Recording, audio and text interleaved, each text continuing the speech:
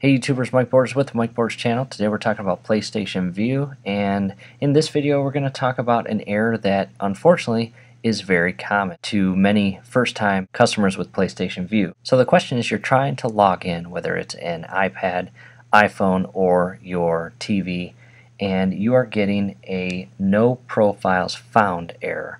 This kind of makes you think, okay, do I actually need a PlayStation console?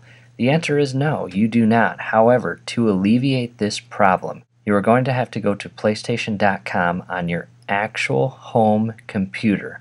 Now, that home computer, no matter what, it has got to be connected with your home Wi Fi connection. Once you're on PlayStation Vue and you've signed in, complete your profile. It's going to ask you to enter a code.